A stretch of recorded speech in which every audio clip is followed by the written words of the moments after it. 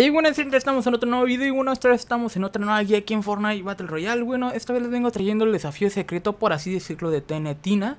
Bueno, este nos va a aparecer ya que hagamos todos los desafíos de esta de personaje o los que nos pide de Tenetina. Ahí los desbloquean completamente y ahora sí se van a ir a la parte como de la bóveda de este personaje y ahí va a aparecer que de hecho te da a elegir cuál quieres, espectro o sombra, ahí va a depender del que tú escojas, va a cambiar de ahí eh, lo que es el desafío, solo es, es, muy tonto lo que cambia, pero es lo mismo, así que bueno, yo por ejemplo voy a escoger este sombra, así que me va a pedir a mí que destruya eh, buzones o cajas de entrega usando explosivos, pero de espectro, si tú eliges este espectro, va a decir que destruyas buzones o cajas de entrega pues de sombra, y así, o sea, cambia, depende del bando que tú quieras elegir, bueno, yo elegí sombra y ahora sí yo les voy a poner en la ubicación a la que yo fui. De hecho, estas buzones o bueno, cajas de entrega aparecen en todos los lugares con nombre. Por lo regular son cuatro si no soy mal. Varía, depende del lugar, pero yo los ubico aquí en esta zona de acumulaciones, no sé, cariadas o algo así se llama aquí.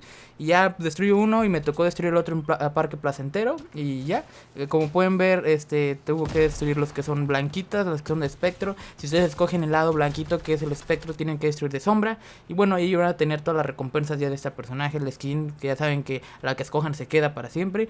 Bueno, eso sería todo. Espero que les haya gustado este video. Nos vemos para el próximo video. Adiós.